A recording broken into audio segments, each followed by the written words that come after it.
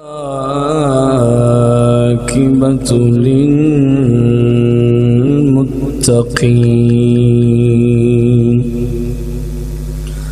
والصلاة والسلام على على سيد الأنبياء والمرسلين وعلى آله وأصحابه وأزواجه وعلماء ملته أجمعين. أما بعد فأعوذ بالله من الشيطان الرجيم. بسم الله الرحمن الرحيم. قال الله تبارك وتعالى في القرآن المجيد والفرقان الحميد. وما أرسلناك إلا رحمة للعالمين آمنت بالله صدق الله العظيم إن الله وملائكته يصلون على النبي. يا أيها الذين آمنوا صلوا عليه وسلموا تسليما. الصلاة والسلام عليك يا رسول الله. الصلاة والسلام عليك يا حبيب الله. الصلاة والسلام عليك يا شفيع المذنبين.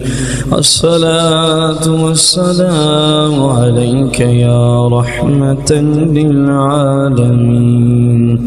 الصلاة والسلام عليك يا سيدي يا جد الحسن والحسين.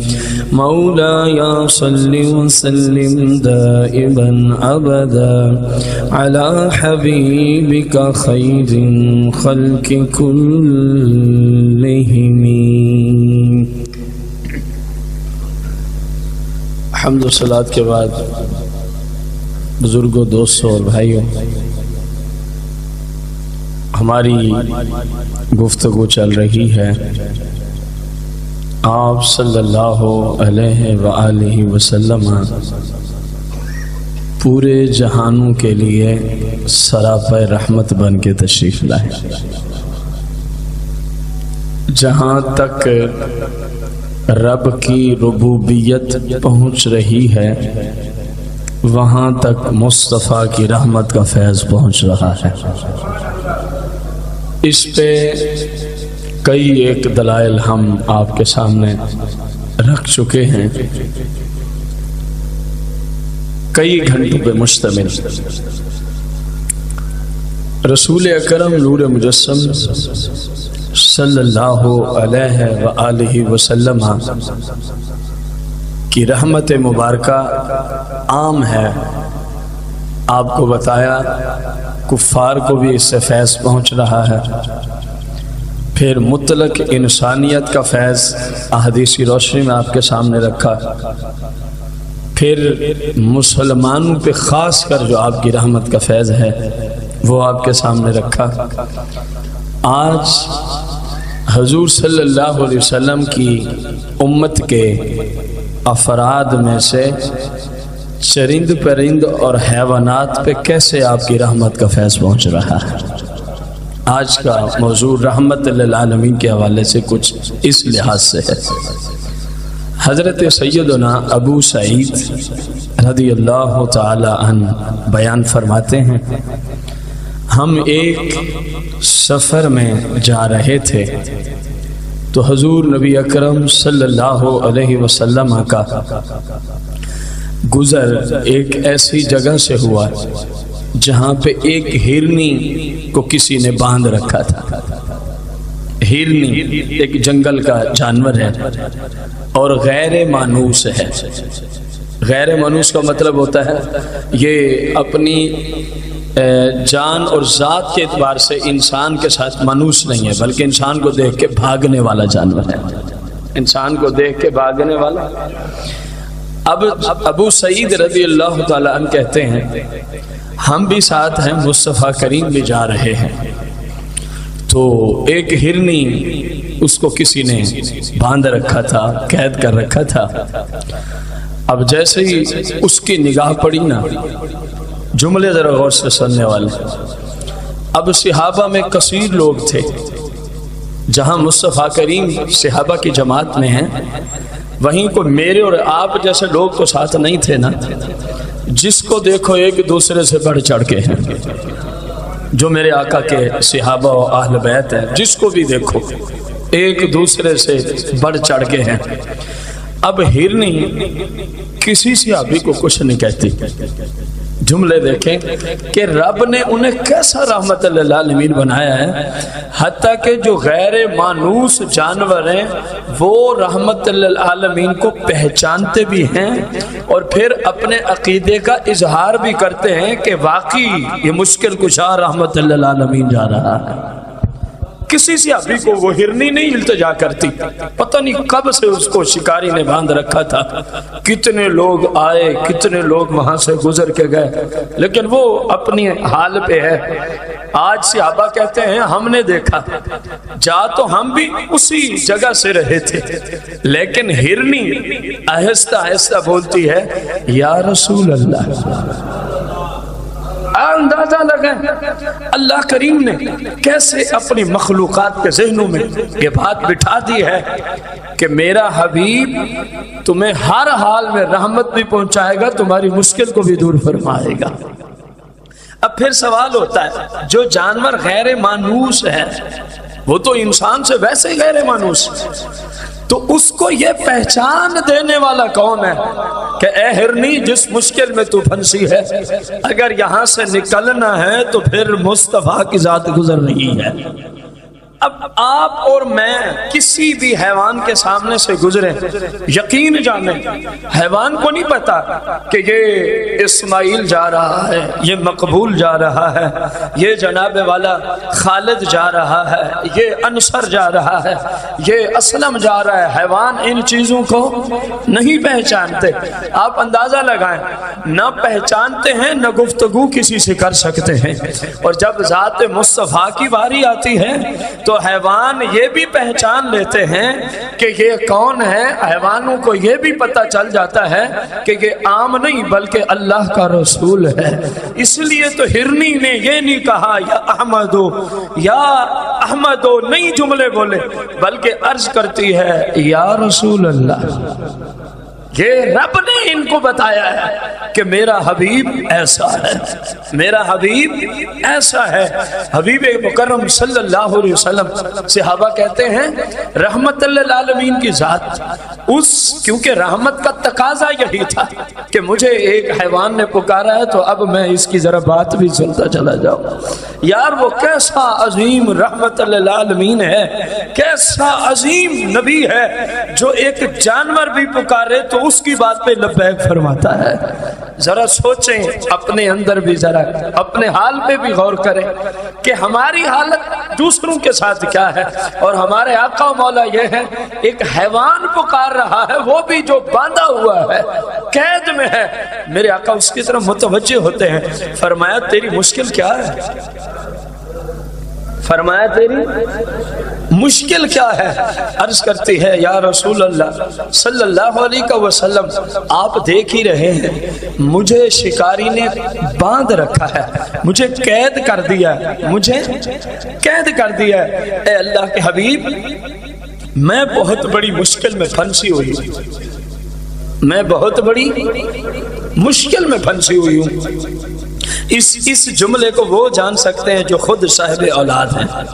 جو خود صاحب یا رسول اللہ کافی دیر سے اس شخص نے مجھے باندھ رکھا ہے۔ میری مشکل یہ ہے، میرے چھوٹے چھوٹے بچے ہیں۔ میں نے ان کو دودھ نہیں پلایا ہے پتہ نہیں وہ کس حال میں ہوں گے۔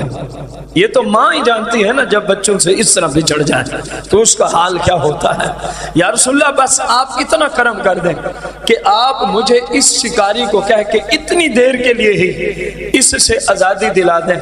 میں جاتی ہوں، آپ سے وعدہ کر کے جاتی ہوں۔ اپنے بچوں کو دودھ پلا کے پھر یہیں واپس آ جاؤ۔ حیوانات بھی مصطفیٰ کریم سے کیے ہوئے وعدے کو پورا کرتے ہیں۔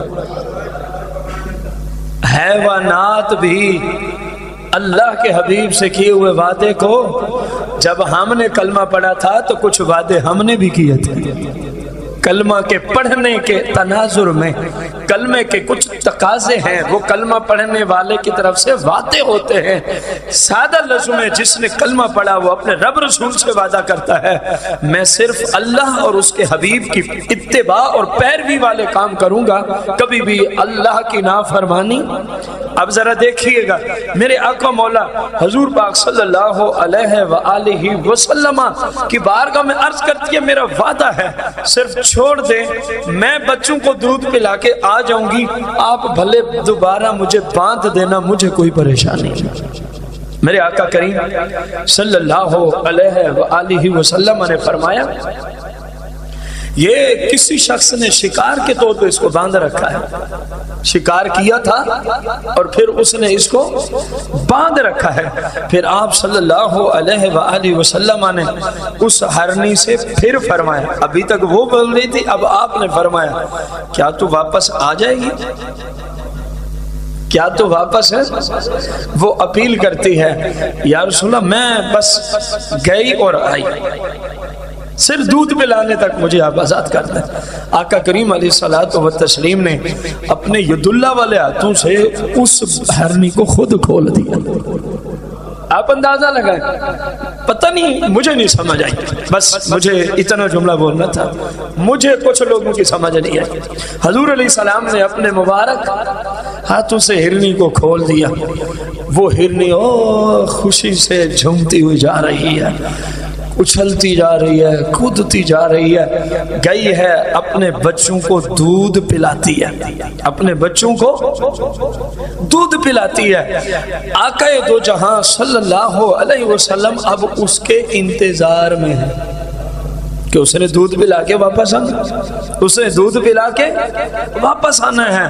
وہ دودھ پلا کے واپس آ گئی اور عرض کی، یا رسول اللہ، میں نے جو وعدہ کیا تھا، پورا کر دی میں آ گئی ہوں۔ آپ مجھے باندھ دیں۔ آپ مجھے باندھ دیں۔ جیسے وہ واپس آئی نا میرے آقا کریم علیہ السلام فرماتے ہیں، اوے اس کا مالک کون؟ اس ہرنی کو کس نے باندھا ہے؟ اس کا مالک کون ہے؟ تو خیمے سے ایک شخص آتا ہے، کہتا ہے جی میں نے شکار کیا ہے، میں اس کا مالک ہوں۔ آقا دو جہاں صلی اللہ علیہ وآلہ وسلم فرماتے ہیں کیا تو یہ ہرنی مجھے نہیں دیتا؟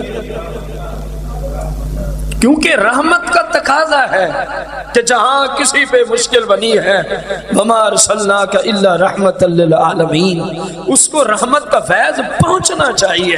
فرمایا، تو یہ ہرنی مجھے نہیں دے دیتا۔ اس نے عرض کی، یا رسول اللہ، آپ لے لیں۔ یا رسول اللہ، آپ لے لیں۔ مصطفیٰ کریم صلی اللہ علیہ وسلم نے اس سے ہرنی لی اور ہرنی کو مصطفیٰ کریم نے فرمایا، جا تو ہمیشہ کے لیے آزاد۔ جا تو ہمیشہ کے لیے آزاد ہے۔ امام بحقی رضی اللہ تعالی عنہ ارشاد فرماتے ہیں، جب سرکار نے فرمایا نا اب تجھے کوئی نہیں باندھے گا۔ تو ہمیشہ کے لیے آزاد ہے۔ سرکار کے صحابی حضرت سیدنا زید بن ارکم رضی اللہ تعالی عنہ فرماتے ہیں لوگوں اللہ کی قسم ہے۔ بات تو ہرنی کی سنانے لگے ہو۔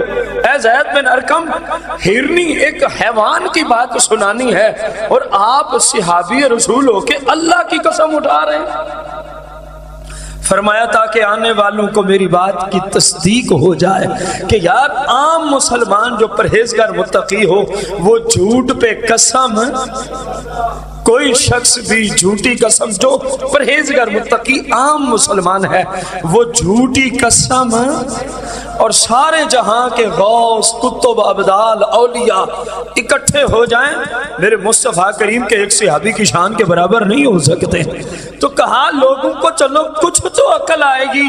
جب عام بندہ قسم نہیں اٹھاتا جھوٹ پہ میں تو مصطفیٰ کا صحابی ہوں، میں تو مصطفیٰ کا شگرد ہوں، میں نے تو ان کا مبارک دیدار کیا ہے، ایمان کی حالت پہ، تو میں جو قسم اٹھا رہا ہوں، آخر کوئی وجہ ہے تو اٹھا رہا ہوں۔ زید بن ارکم کہتے ہیں، اللہ کی قسم ہے، ہم نے دیکھا، جب مصطفیٰ کریم نے ہرنی کو آزاد کیا نا، وہ ہرنی چلتی اچھلتی، کودتی، خوشیاں مناتی۔ جب جا رہی تھی نا، تو پتہ ہے اس کی زبان پہ عربی کلمات کون سے جاری تھے؟ وہ کہہ رہی تھی، لا الہ الا اللہ، محمد الرسول اللہ۔ لا الہ الا اللہ، محمد الرسول اللہ۔ لا الہ الا اللہ، محمد الرسول اللہ۔ صلی اللہ علیہ وآلہ وسلم۔ یار، صحابی کی قسم پہ کس کو اعتبار نہیں؟ انہوں نے اسی اعتبار کی غرض سے قسم اٹھائی تھی۔ تو دیکھو، جس ذات کو رحمت للعالمین ہونے کے ناطے سے حیوان بھی جانتے ہیں، یار، ان انسانوں کا کیا ہوگا جو کہتے نہیں ان کی رحمت کسی کو نہیں پہنچتی؟ جو کہتے نہیں ان کی رحمت بس صحابہ تک محدود تھی۔ تو قرآن کیوں کہہ رہا ہے؟ وما ارسلناک الا رحمت للعالمین وما ارسلناک الا رحمت للعالمین الحمدللہ رب العالمین تو جہاں تک رب کی ربوبیت ہے، قرآن کا فیصلہ ہے، وہاں تک مصطفیٰ کی رحمت کا فیض پہنچ ہی رہا ہے۔ وہاں تک آقا کریم کی رحمت کا فیض پہنچ ہی رہا ہے۔ رسول اکرم نور مجسم صلی اللہ علیہ وآلہ وسلم کے پیارے سے حضرت سیدنا عبداللہ بن جعفر۔ سیدنا عبداللہ بن رضی اللہ عنہما روایت کرتے ہیں۔ ایک دن رسول اکرم نور مجسم صلی اللہ علیہ وسلم نے مجھے اپنے ساتھ سواری پہ بٹھایا۔ اپنے ساتھ سواری پہ۔ پھر آقا کریم صلی اللہ تعالی علیہ وآلہ وسلم نے مجھ سے ایک بات کہی اور مجھ سے وعدہ لیا، کسی کو بتانی نہیں۔ کسی کو بتانی نہیں ہے۔ پھر آقا دو جہاں صلی اللہ علیہ وسلم اپنے کسی کام کی گھر سے مجھے چھوڑ کے میرے سامنے چلے گئے۔ میرے سامنے ہی چلے گئے۔ رسول اکرم نور مجسم صلی اللہ علیہ وسلم انصار کے باغوں میں سے ایک باغ میں تشریف لے جاتے ہیں۔ صحابہ کے لقب کے اعتبار سے دو گروہ ہیں۔ مہاجرین اور انصار۔ قرآن مقدس میں مہاجرین وہ صحابہ ہیں جنہوں نے مکہ سے اللہ کی رضا کی خاطر، مصطفیٰ کی رضا کی خاطر، انہوں نے دین کی خاطر سب کچھ چھوڑ کے مکہ سے مدینہ کی طرف کیا کی تھی؟ ہجرت، وہ مہاجرین ہیں، یہ ان کی قوم نہیں ہے۔ اور انصار صحابہ وہ ہیں جو مدینے میں رہائش پذیر تھے۔ جب مکہ سے مسلمان آئے تو ان کی انہوں نے بڑھ چڑھ کے مدد کی۔ ان کی انہوں نے بڑھ چڑھ کے مدد کی۔ تو یہ ان کو لقب اللہ نے دیا۔ یہ ہجرت کرنے والے مہاجر صحابہ، انصار صحابہ، یہ ہجرت کرنے والوں کی مدد کرنے والے صحابہ۔ یہ ہجرت کرنے والوں کی مدد کرنے، قوم آرے کی اپنی اپنی۔ نہ انصار ادھر کوئی قوم، نہ مہاجر ادھر کوئی قوم۔ رسول اکرم نور مجسم صلی اللہ علیہ وسلم انصار کے باغات میں سے کسی ایک باغ میں تشریف لے جاتے ہیں۔ غور کیجیے گا، جیسے ہی آپ وہاں تشریف لے گئے نا، حضور صلی اللہ علیہ وسلم کے مبارک جسم کے ساتھ ایک اونٹ آ کے بڑ بڑ کرنے لگا۔ اپنی زبان میں کچھ کہنے لگا۔ آپ صلی اللہ تعالی علیہ وسلم سے جب وہ گفتگو کر رہا تھا، تو اس اونٹ کی آنکھوں سے آنسو بھی جاری تھے۔ یہ کب ہوتا ہے؟ آپ سے سوال۔ جب آپ کسی کو حال دے رہے ہو، عام حالت میں آپ کی آنکھوں سے آنسو۔ جب کوئی درد بنی کہانی کوئی سنا رہا ہو کسی کو۔ جب کوئی جو درد کو سمجھتے ہیں، یہ جملہ بھی انہی کو سمجھ آئے گا۔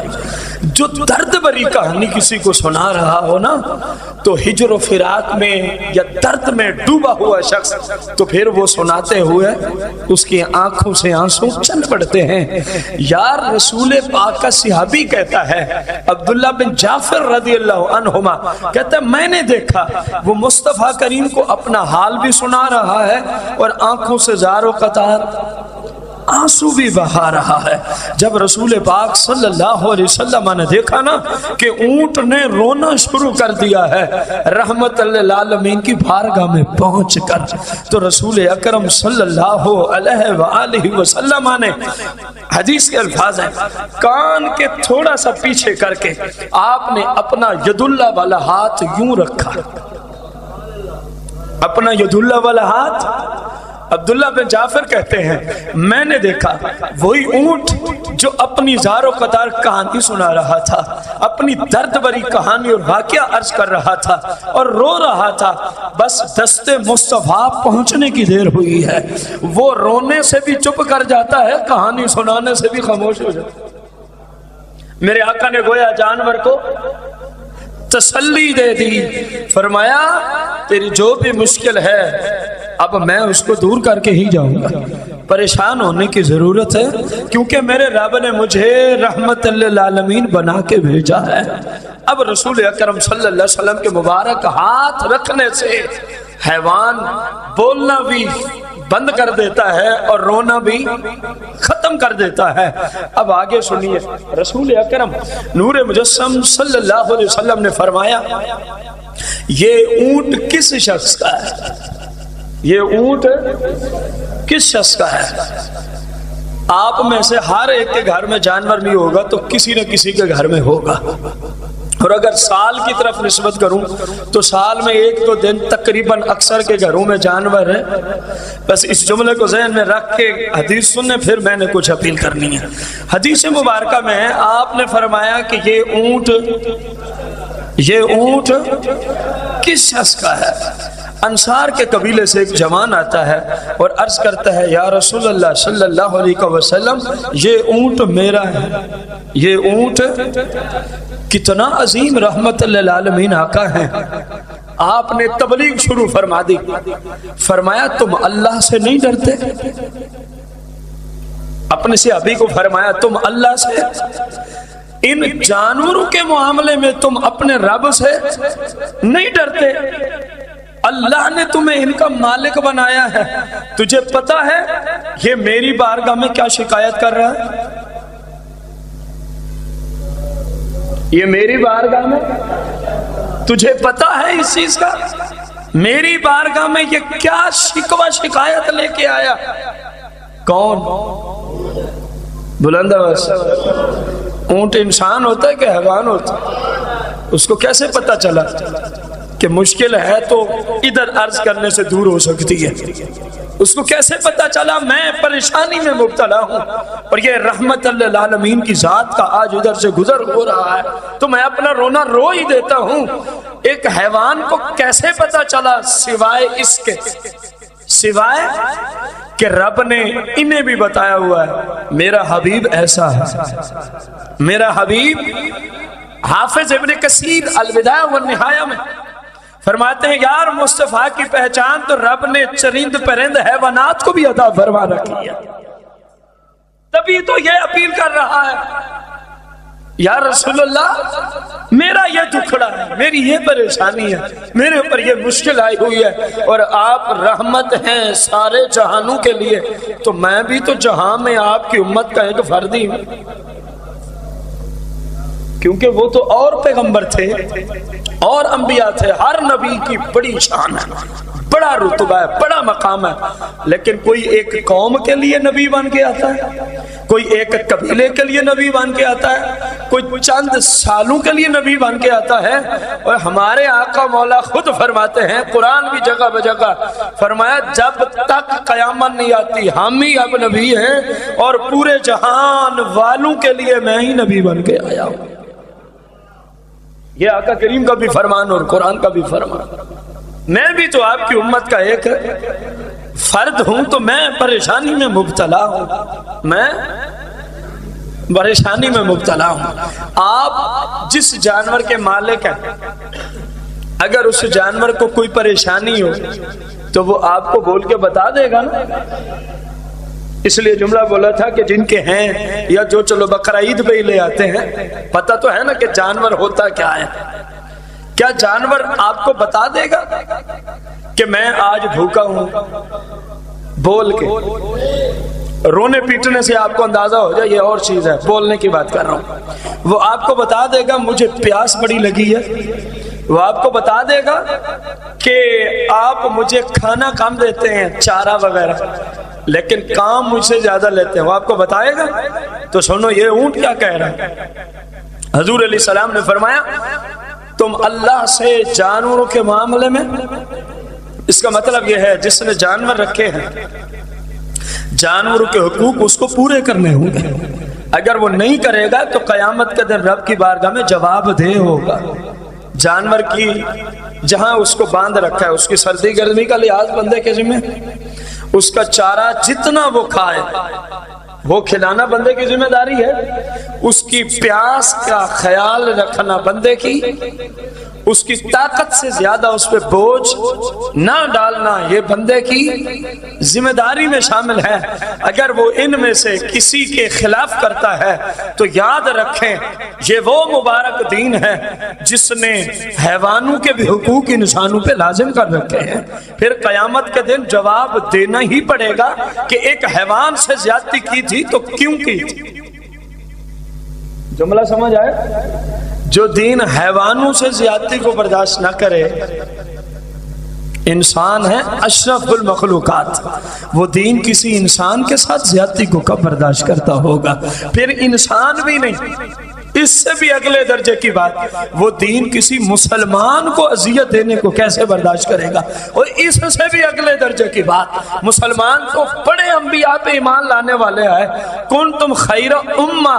جو ساری امتوں سے افضل و اعلیٰ مسلمان ہے، مصطفیٰ کریم کا امتی ہے، جو اس مسلمان کو ستاتا ہے، تنگ کرتا ہے، اس کے حق پہ کسی بھی لحاظ سے ڈاکہ ڈالتا ہے، اس مسلمان کے لیے دعوت فکر ہے سوچ کے رکھنا۔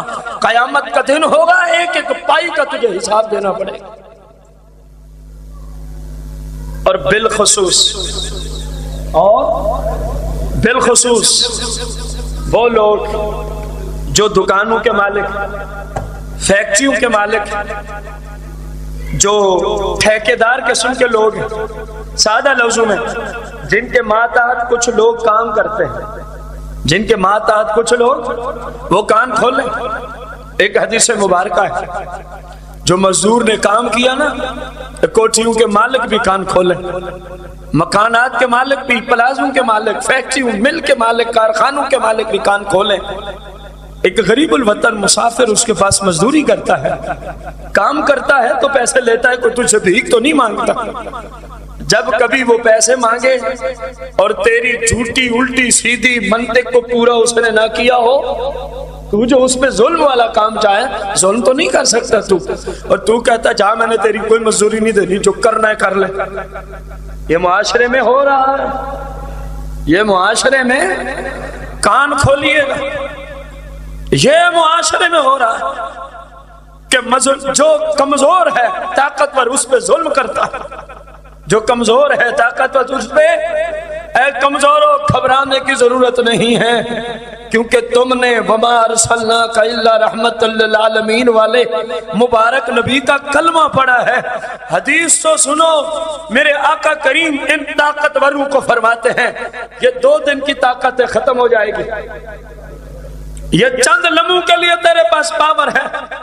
اس پاور کے بل بوتے پہ میری امت پہ ظلم کرنے والے، یاد رکھ، جب قیامت کا دن ہوگا، طاقتور بھی کھڑا ہوگا، مظلوم بھی کھڑا ہوگا، کمزور، جس کے حق پہ ڈاکا ڈالا گیا۔ اب پتا ہے، وہ مظلوم نہیں کہے گا۔ یا اللہ، اس نے میری مزدوری ماری تھی۔ اس نے میرا فلاں حق اس پہ ڈاکہ ڈالا تھا۔ وہ یار، کتنی عظیم بات ہے۔ وہ بندہ نہیں کہے گا، بلکہ مصطفیٰ کریم رحمتوں کے تاج والے آقا فرماتے ہیں۔ اس مظلوم کا کیس آقا دو جہاں اپنے رب کی بارگاہ میں لے کے جائیں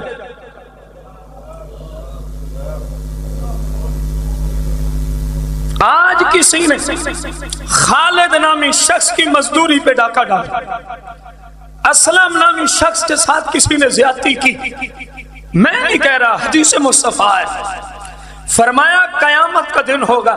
اس خالد و اسلم یعنی حدیث میں لفظ خالد اسلم نہیں ہے آپ کو سمجھانے کے لیے عرض کر رہا اب ان کو وہاں دستک دینے کی حاجت نہیں ہوگی۔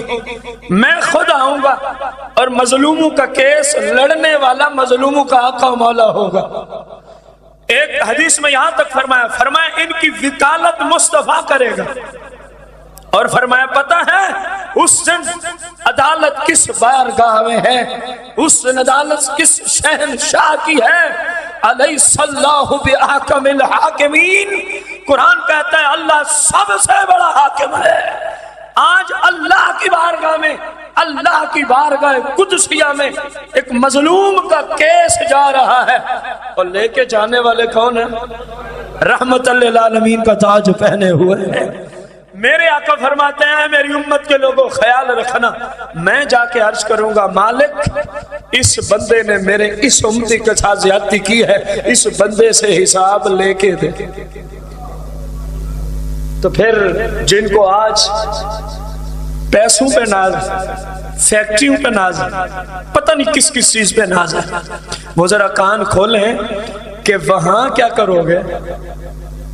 اور جملے ہیں، میں اس غریب کا وکیل بنوں۔ گا میں اس غریب کا، یہ دنیاوی وکیل نہیں ہے۔ ان کی عقلیں کیونکہ بجھ چکی ہیں نا، اس لیے ہمیں ہر بات ہمیں کرنی پڑتی ہے۔ یہ دنیاوی کہ جس کو پیسے دے کے سچ کو جھوٹ جھوٹ کو سچ سے۔ یہ تو سارے نبیوں کا امام ہے۔ جہاں تصور ہی نہیں ہے، تو سوچنا ذرا۔ اگر زیادتی کی تو پھر کل کو کیس مصطفیٰ لے کے آئیں گے۔ عدالت رب کی ہوگی۔ آپ کو پھر پتہ ہی ہے جو ہوگا۔ اللہ کی پناہ طلب کرتے ہیں ہم۔ اپنے مالک کی پناہ طلب کرتے ہیں کہ ہماری وجہ سے کسی مسلمان یا کسی انسان یا کسی حیوان کے حق پہ بھی ڈاکہ پڑے۔ یا اللہ، ہم تیری پناہ طلب کرتے ہیں۔ کیونکہ ہم تو کمزور لوگ ہیں عذف لوگ ہیں، ضعیف لوگ ہیں۔ ہمارا تو عقیدہ یہی ہے۔ لا حول ولا قوت الا باللہ العلی العظیم۔ کہ ہم تو اپنی مرضی سے طاقت نہیں رکھتے کہ گناہوں سے بچے۔ ہم مالک کا کرم ہو جائے تو بچ جاتے ہیں۔ ہم تو اپنی مرضی سے نماز تک نہیں آ سکتے۔ ہاں اگر مالک کرم و فضل فرما دے تو پھر سب کچھ ہی ہوتا رہتا ہے۔ پھر سب کچھ ہی؟ تو آقا دو جہاں صلی اللہ علیہ وآلہ وسلم آقا یہ فرمان، اور وہ لوگ جو دس، پندرہ، بیس، ایک مہینے کے بچے کو دودھ کی غرض سے یعنی پیسے کی غرض سے اپنی ماں سے جدا کر دیتے ہیں، ذرا سوچئے گا، قیامت کے دن جواب آپ کو بھی دینا پڑے گا۔ اے بھینسوں والے، یار اس ماں کا حق کوئی نہیں ہے اولاد پہ۔ دس دن کا جناب اس کا بچہ ہے، اس کو اس لیے بیچ ڈالتے ہیں کہ کہیں یہ دودھ نہ پی لے۔ اس کے سوا تو کوئی غرض نہیں ہو۔ یہ پیسہ یہیں رہ جائے گا۔ اللہ کی شریعت پہ عمل ہوگا تو دنیا بھی سمر جائے گی، قبر و آخرت بھی۔ میرے آقا کریم علیہ السلام فرماتے ہیں، تم اللہ سے نہیں ڈرتے۔ یا رسول اللہ، کیا ہوا؟ یا رسول اللہ، اب کون رو رہا تھا؟ تھوڑی دیر پہلے حدیث سنیے اونچی ذرا۔ کہنے کی بارگاہ میں رو رہا حضور علیہ السلام کی بارگاہ اقدس میں تو وہ مالک نہیں سمجھ پایا کہ یہ کیا کہہ رہا ہے۔ تبھی تو پوچھ رہا ہے۔ لیکن جو اللہ کے نبی ہیں، اللہ نے جنہیں نبوت اور آخری نبی بنا کے بھیجا ہے، وہ اونٹ کی بولی سمجھ بھی رہے ہیں، اس کی پریشانی کو دور کرنے کے لیے مالک کو بلا رکھا ہے۔ فرمایا، سن یہ کیا کہہ رہا ہے۔ سن یہ یہ کیا کہہ رہا ہے؟ یہ تیرا اونٹ مجھ سے شکایت کر رہا ہے۔ یہ تیرا اونٹ مجھ سے اپنی ایک پریشانی کو لے کے آیا ہے۔ شکایت کر رہا ہے کہ یہ کہتا ہے، یا رسول اللہ، یہ بندہ مجھے بھوکا رکھتا ہے اور کام مجھ سے بہت زیادہ لیتا ہے۔ یار، ایک حیوان آقا کریم کی بارگاہ میں اپنی بات کے میرا مالک مجھے؟ بولو تو صحیح یار۔ دیکھو میں کوشش کرتا ہوں کہ اللہ کے فضل سے یہاں تقریباً یا قرآن سے کوئی جملہ ہوتا ہے یا مصطفیٰ کی حدیث سے جملہ ہوتا ہے۔ میری کوشش یہی ہوتی ہے، کسی بات کو سمجھانے کے لیے کوئی علیحدہ بات ہے تو علیحدہ بات ہوتی ہے۔ جو پراپر لوگ آتے ہیں، میرے بھائی، ان سب کو پتا ہے، اللہ کے فضل سے ہم احادیث اور اللہ کے فضل سے جس بات کو ہم حدیث کہیں گے، اس کو یہاں بھی اور جہاں کوئی کہے گا۔ حدیث کی کتاب سے دکھانا ہماری ذمہ داری ہے، کوئی نہ مانے تو پھر اس کی اپنی حدیث پڑھ رہے ہیں ہم۔ کون عرض کر رہا تھا؟ اونٹ اپنی پریشانی لے کے آیا، اپنی مشکل لے کے آیا، کیونکہ موضوع چل رہا ہے۔ آپ کو رب نے ایسا رحمت اللہ عالمین بنا کے بھیجا ہے کہ ہر چیز کو آپ کی رحمت کا فیض پہنچتا ہے۔ جب رب نے بنا کے بھیجا ہے تو کیا مشکل؟ وہ ہر چیز میں قدرت رکھتا ہے۔ جیسا کسی کو چاہے بنا کے بھیج دے۔ رب نے ہی بنایا ہے نا مصطفیٰ کو۔ اللہ نے ہی آپ کو تخلیق فرمایا اللہ نے ہی آپ کو پیدا فرمایا اور یہ ساری شانیں آقا کریم کو رب نے ہی عطا فرمائی۔ رب نے ہی عطا فرمائی ہے فرمایا، یہ کہہ رہا ہے کہ تو مجھے میرا مالک مجھے کھانا کم دیتا ہے اور مجھ سے کام، یا رسول اللہ، میں تھک جاتا ہوں۔ اللہ اکبر۔ کتنے عظیم جملے ہیں یار ایک حیوان کے۔ یا رسول اللہ، میں میں تھک جاتا ہوں کیونکہ میری طاقت نہیں ہے۔ کھانے کو تو ملتا نہیں، کام زیادہ لیتا ہے۔ تو یا رسول اللہ، میں کیا ہو جاتا ہوں؟ میں تھک جاتا ہوں۔ اس کو کہیں یہ کچھ کرم کرے حضور پاک نے فرمایا، آج کے بعد اس اونٹ کے ساتھ ایسا معاملہ، کھانا فل دینا ہے، کام طاقت سے بھی کچھ کم لے لیا۔ تاکہ اس حیوان کو تھکاوٹ اور یہ جملے سنے ہیں میرے بھائیو۔ سارے نبیوں کے سردار کے کلمات ہیں۔ میری امت کا ایک فرد حیوان، یہ اونٹ۔ کہہ رہا میں تھک جاتا ہوں. اتنا لیا کر کے یہ تھکے نہ۔ یار وہ کیسا نبی ہے جو اپنی امت کے حیوانوں کی تھکاوٹ کا بھی خیال کرتا ہے؟ اور ہمارے آقا مولا علیہ السلام نے ہم تک دین پہنچانے کے لیے اپنی تھکاوٹ کا خیال نہیں کیا۔ اب کچھ اپنے لیے بھی تو ہو جائے نا۔ ہم تک دین پہنچانے کے لیے اپنی تھکاوٹ کا آپ کو پتہ ہی ہے، جو جو مکی زندگی میں گزرا، جو جو مکی زندگی میں مکی دور بہت ہی مشکل ترین دور گزرا ہے، ہجرت سے پہلا جو دور گزرا ہے، آپ سب سے اپیل ہے، جو اب آقا مولا اپنی امت کے حیوان، ایک حیوان کی تھکاوٹ کا بھی خیال کرتا ہے، وہ آقا مولا امت تک تبلیغ کرنے کے گھر سے اپنی تھکاوٹ کا، اپنی تھکاوٹ کا خیال نہیں کرتا، تو کچھ امت کو بھی تو سوچنا چاہیے نا کہ جنہوں شب و روز محنتیں کر کے، دن رات تکالیف اٹھا کے، حتیٰ کہ پتھر کھا کے، لو لہان ہو کے بھی دین کی تبلیغ کی ہے۔ آج سب کچھ ہم تک پہنچا ہے۔ ہم اتنے غافل ہیں، ہم اپنے رب کی عبادت سے دور چلے۔ ہمارے اوپر کوئی ذمہ داری نہیں بنتی سوال ہے، جواب تو دینا نا۔ اللہ کی عبادت ہمارے اوپر اللہ کی طرف سے لازم ہے کہ نہیں ہے؟ تو میرے بھائی اور بزرگوں میں نے بھی یہی اپیل کیا ہے۔ خدا را اپنی زندگی پہ، اپنے شب و روز پہ، اپنی سیرت پہ، اپنے کردار پہ غور کرو کہ یار، میں تو اللہ کی عبادت کے لیے بنایا گیا ہوں۔ وما خلقت الجن والانس الا ليعبدون۔ قرآن کہہ رہا ہے کہ ہم نے انسان اور جن کو اپنی عبادت کے لیے بنایا ہے۔ یار، جب ہیں ہم اللہ کی عبادت کے لیے اور ہم تک تبلیغ پہنچانے میں، نہ جانے مصطفیٰ کریم سمیت کتنے نفوس قدسیہ نے کتنے بڑے بڑے مشکلات کے پہاڑ اٹھائے تھے کہ دین کی تبلیغ ہوتی رہے، دین کی تبلیغ ہوتی رہے۔ تو یار ہم تک دین پہنچ گیا ہے۔ اب ضرورت اس عمر کی ہے کہ ہم آقا کریم کی شریعت کے مطابق، بولے تو صحیح، شریعت کے مطابق۔ اللہ کریم مجھے آپ سب کو یہ توفیق دے دے کہ ہماری زندگی اللہ کی عبادت میں بسر ہو جائے۔ ہماری زندگی اللہ کی توفیق سے، اللہ کے دیے ہوئے شریعت کے قانون جو مصطفیٰ کریم نے ہمیں عطا فرمائے ہیں۔ اللہ کرے کہ ہماری زندگی شریعت، قرآن و حدیث کے، اللہ کرے ہمارے گھروں میں ماحول، رسول پاک کی شریعت والا آ جائے۔ اس کا وزیر اعظم سے کوئی تعلق نہیں ہے۔ میں نے بیسویں بار یہ جملے بولے ہیں۔ وزیر اعظم جی لے کے نہیں آتا۔ نظام مصطفیٰ، آپ اپنے گھر میں لے کے آئے آپ کو سپریم کورٹ کے جج نے، چیف جسٹس نے روکا ہوا کوئی لیٹر لکھا ہے کہ اپنے گھر میں لوگوں کو نمازی نہ بنانا۔ اپنے گھر میں فلمیں، ڈرامے نہ چلنے دینا۔ اپنے گھر کے اندر فلاں فلاں گناہ نہ ہونے دینا۔ حکومت نے آپ کو روکا ہے۔ سارا کچھ حکومت پہ تھوپے جانا ہے۔ جو اپنی ذمہ داری ہے، وہ تو ہم کریں۔ اگر ہر بندہ ہم میں سے ہی ہر بندہ کثیر تعداد ہے، یہ عزم لے کے جائے، میرے گھر میں شریعت کے مطابق ہی کام ہوگا۔ اللہ کریم کی شریعت اور قانون، قرآن اور حدیث کا چلے گا۔ تو پتہ نہیں کتنے گھروں میں نظام مصطفیٰ خود بخود ہی آ جائے اور ہم سے یہ پوچھا جائے گا، تیرے گھر میں کیا ہوتا رہا؟ ہم سے یہ نہیں پوچھا جائے گا، پورے فیصلہ آباد میں کیا ہوتا رہا؟ یہ وزیر اعظم کی ذمہ داری ہے وہ جانے اس کا رب جانا کیونکہ ہم اپنے گھر کے سربراہ ہیں۔ حدیث ہے، ہر سربراہ سے اس کی رعایا کے متعلقہ اللہ پوچھے گا تو نے اپنے گھر میں کیا کیا؟ اپنی سلطنت میں کیا کیا؟ اللہ ہمیں عمل کی توفیق عطا فرمائے۔